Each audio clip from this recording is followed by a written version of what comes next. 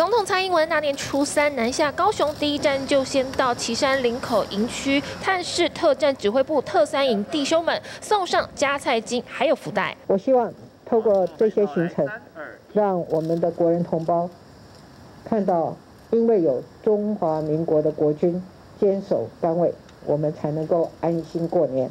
大家。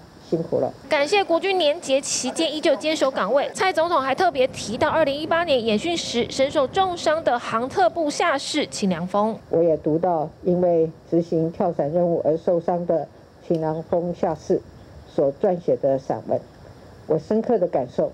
梁峰对于国军、对于特战部队的浓厚的情感。指挥部长官也特别向总统介绍特战指挥部特三营的各项装备，其中总统对 T 拐五班用机枪特别感兴趣。他有想要试着拿看看重不重，呃，发觉是蛮重的。总统麦卡锡会访台吗？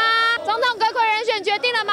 新任众议院议长麦卡锡可能访台，以及新任阁揆人选，蔡总统没有任何回应。春节期间总统行程马不停蹄，新内阁团队恐怕得要农历年后才有谱。金新闻杨世吴杜云杰采访报道。立刻下载金新闻 App，一手掌握新闻时事，尽善尽美，尽好新闻。